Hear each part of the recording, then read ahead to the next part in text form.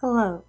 Today we will be discussing how to add labels using ggplot2 to help make your graphs as self-explanatory as possible. Before we begin, I want to talk about the dataset that is used during this demo. The dataset being used is the City of Houston Harvey Damage Assessment Open Data. This data is a collection of damage assessment surveys that were completed by the Department of Neighborhood, the Department of Public Works and Engineering Floodplain Management Office, and the National Flood Insurance Program. In the examples below, I pulled the data for Houston, Texas census tracts, the total number of households in the area, and the median household income.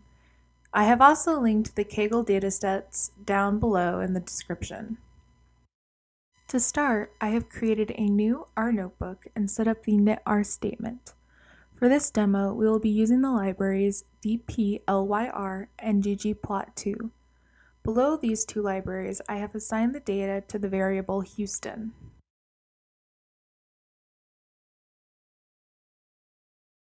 The first label we will add to our plot is the title label. To add a label to ggplot2, we will be using the labs function. The purpose of your plot title is to summarize your findings. Good titles avoid just describing what the plot is, for example, a scatter plot of engine displacements versus fuel economy. Using the ggplot function, we need to get our data by calling our variable Houston and display the Texas census tracts on the x-axis and the total number of households in the area on the y-axis. Next, we need to assign the color to the median household income. To make the color stand out, I have added the scale color gradient.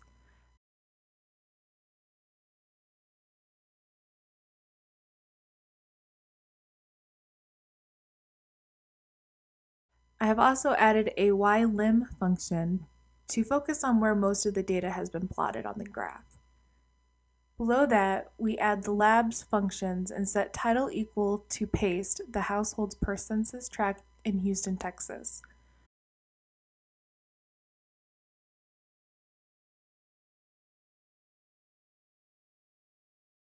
Once we run the code, you will see the title placed just above the graph.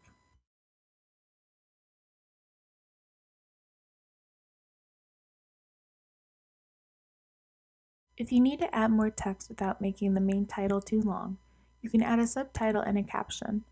A subtitle adds additional details right below the title in smaller text, while a caption adds text to the bottom right of the graph. This is often used to describe the source of your data. For this graph, we will copy the code from above and add subtitle equals paste classified by the median household income and caption equals data from your URL.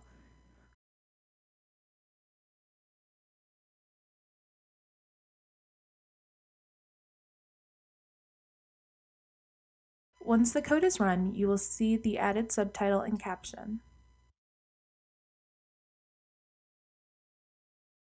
To add axis and legend titles, you will again copy the code from the last section and add that the x-axis equals the total number of households, while the y-axis equals the Houston, Texas census tracts, and the color, or legend, equals median household income.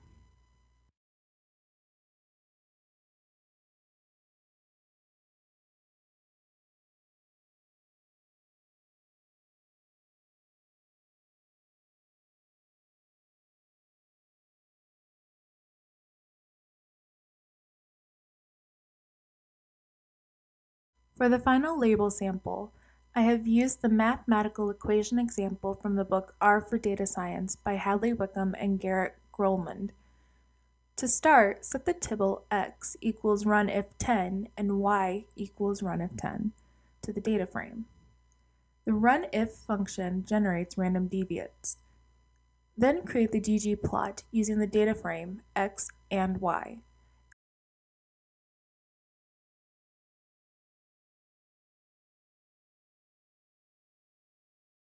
Instead of using quotation marks for assigning the labels, we will use the function quote.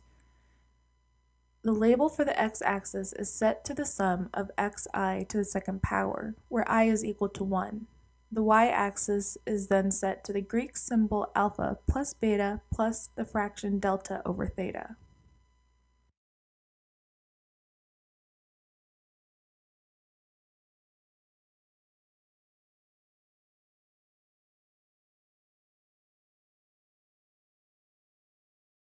This concludes our demo on how to add labels using ggplot2 to help make your graphs as self-explanatory as possible.